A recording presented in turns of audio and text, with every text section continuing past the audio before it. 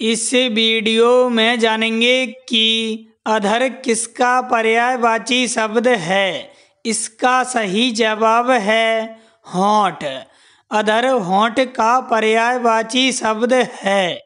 छिपता हुआ महासागर, किसे कहा जाता है?